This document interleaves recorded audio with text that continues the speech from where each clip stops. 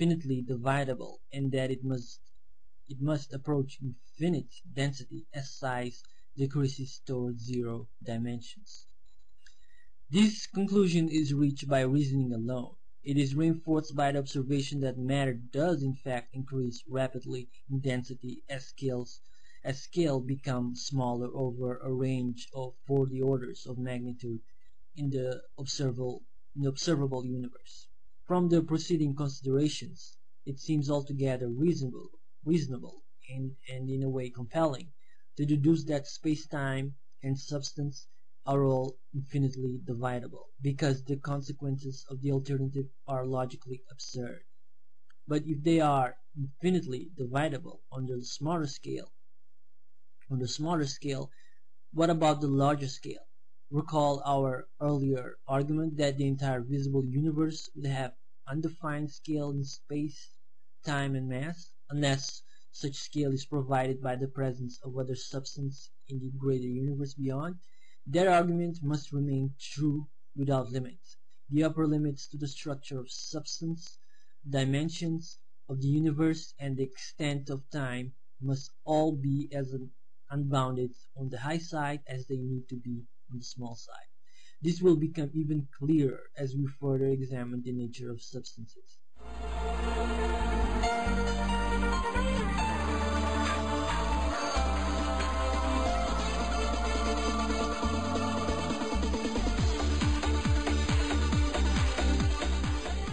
As remarked earlier, motion and orientation have no meaning for a single particle in an empty universe. Now introduce a second infinitesimal particle. This gives meaning to orientation, since angles can be measured from the line joining the two particles. It also provides a single measurement of length, the distance uh, between the particles. It does not, as before, provide a scale for the empty universe, since the distance cannot be measured in units uh, of particle diameters, which are still being assumed to have no dimensions. Therefore, there is no way yet to determine whether uh, our particles are separated by a microscopic or a macroscopic distance. There is as yet still no meaning to motion in this two-particle universe. The two particles cannot change direction, since all directions have meaning only relative to the particle-to-particle direction, and the two particles cannot change distance, since all distances have meaning only relative to the particle-to-particle distance. And in a very real sense, this universe, without the possibility of motion or change, has no time. Time can have no meaning if there cannot be events or change to mark its progress. Put differently, if there were such a thing as an absolute time which existed somehow in addition to our two particles, the lapse of a microsecond or million years would be just the same and utterly undistinguishable. But the existence of something with substance, such as uh, an absolute time scale, violates the assumptions of our construction that nothing exists except our two infinitesimal particles in an empty universe. Remember, we refer to substance rather than matter to cover anything which exists. An absolute scale of time, just as for a structure or framework in space, would have substance in this broad definition. Perhaps you have thought about one possible event or change which might occur in our two-particle universe up to this point. We might imagine that the two particles coincide which is distinguishable condition from non-coincidence.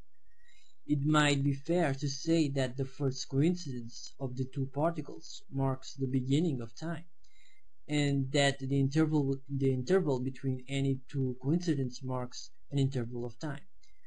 This interval still has arbitrary and indeterminate length. We cannot tell if the interval to the next coincidence is longer or shorter than the last. That implies that implies an absolute scale of time to measure against. We can merely mark the progression of time by counting coincidences. This brings us to an important point. In an in a, an empty universe consisting of two elementary units of substance, the ordinary properties of the universe, time, space, matter, do not exist outside of the particles, and between events of coincidence. It can therefore be said in a logically meaning, meaningful way that space and time, which are empty of particles and events, do not exist. This eliminates a logical fallacy we have been skirting up around up to now about whether the empty the empty space and time surrounding our particles exist. Our use of substance of substance to mean anything which exists is logically correct, since a true void would not exist in either space or time, in the operationally defined meaning of the word exist as used here. Of course, for actual particles with finite dimensions, events of coincidence do not occur.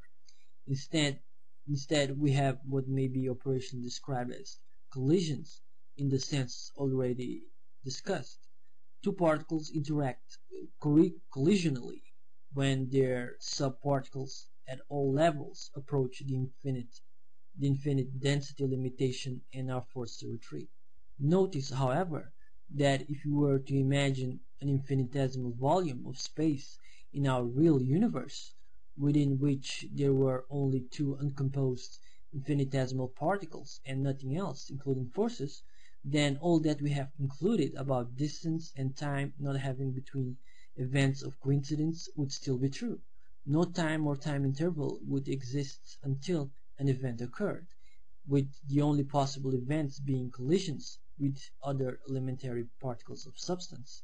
On the most microscopic levels, time must proceed instantly from one collision event to the next. Reflection on this, which implies the non-existence of space-time between events in a region, begins to provide some insight into why the universe seems to behave as if space and time were relative, not absolute. We have reason to the very concept that Einstein theory shows, you know, that they are relative. And we are clearly highlighting the point you know, the point that true void or vacuum implies non-existence. We are asserting that every point in the perceptible universe is at every moment of time filled with contiguous substance at some infinitesimal level. If substance could be imagined to become absent anywhere at any time, time there would cease and the perceptible universe would collapse until the vacuum was filled. Put in another way, a particle reaching one edge of a vacuum could would skip instantaneously to the opposite edge, just if the vacuum had zero dimensions. Because there is no substance to mark the passage of time inside of the vacuum, and no absolute time without substance. For example, if there were such regions where matter density is so low that no collisional interaction between units of substance occurred, then all substance on the edge of such regions would instantly dissipate itself into non-interacting regions, followed by substance slightly further in, and so on. All substance in this universe would dissipate instantly into the void.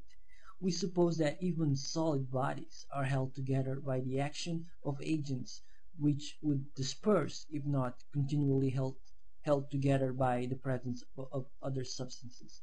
So that even solids would dissolve. Since this does not happen, we conclude that this universe has no such regions where collisional interactions between units of substance do not occur.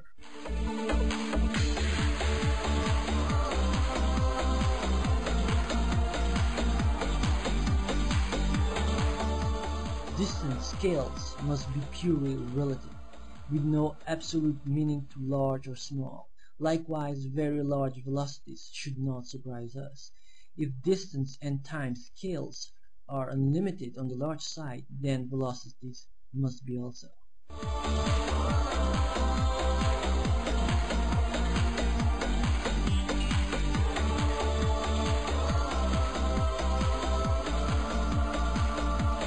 And here we are at my starting assertion that the Big Bang violates cause and effect, and relativity.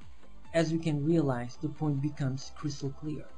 Not only the Big Bang has a lot of patched up inconsistencies, but actually it is nonsense to begin with. The universe is very much a pressure system. Gravitation, for example, it's, it's uh, you know a great uh, example of the difference of potential and density in our universe. So to make up like a finite universe in the middle of nothing is plain wrong, as anyone could naturally suspect.